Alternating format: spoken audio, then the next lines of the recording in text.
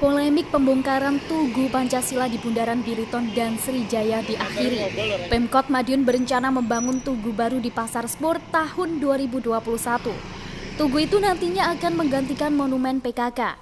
Anggaran pembangunannya mencapai sekitar 200 juta rupiah.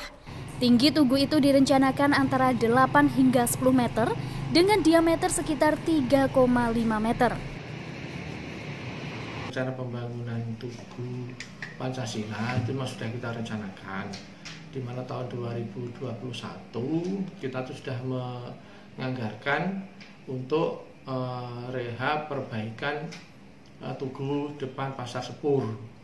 Untuk uh, depannya di atasnya nanti ada lambang NKRI kita Garuda Pancasila yang lebih megah lebih besar dan berputar seperti patung pendekar ada lampu uh, yang uh, warna-warni di sampingnya. Jadi uh, menurut kami tempat yang ada di de Tugu depan Pasar Sepur itu sangat bagus, view-nya sangat bagus dan jalan protokol.